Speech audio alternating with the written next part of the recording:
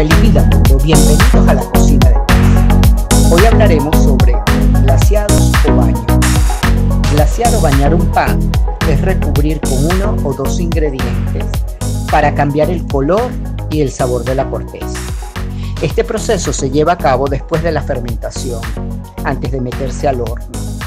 En algunos casos puede ser después del horneado, dependerá del resultado que se quiera. Hay distintos ingredientes que se utilizan de glaseado. A continuación conocerás cuáles son y su función. Leche. Se utiliza para crear una corteza dorada.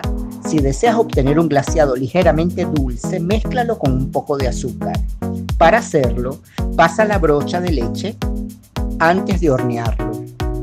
Agua y sal. Estos ingredientes se utilizan cuando se desea obtener una corteza brillante y crujiente. Disuelve la sal en agua, la cantidad de sal se da a tu gusto. Pasa la brocha con un pincel de cocina con agua salada antes de hornear. La miel se utiliza para obtener una corteza blanda, dulce y un poco pegajosa. Se recomienda usar miel natural. Sin embargo, puedes utilizar jarabe de maíz.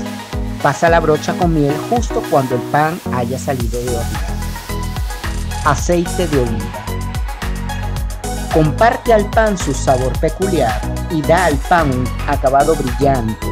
Pasa la brocha bañada en aceite de oliva antes y después de hornear. Fécula de maíz.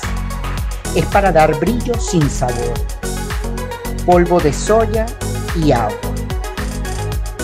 Esta es una opción de glaseado vegetariano, ya que hace la misma función que el huevo. Vierte una cucharada de polvo de soya en una taza de agua. Pasa la brocha del pan en esta mezcla justo antes de hornear. El huevo es el baño más común. Este le da a la corteza un aspecto brillante y dorado. Además sirve como adhesivo para aplicar distintos acabados. Para prepararlo usa un huevo y una cucharada de agua o leche y una pizca de sal.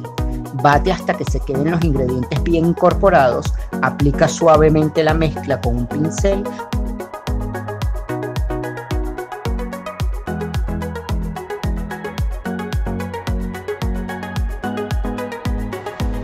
Para lograr un brillo dorado, aplica la primera capa y deja secar. Aplica la segunda capa justo antes de hornear. Antes de aplicar el glaseado, pon las piezas en la bandeja de horneado.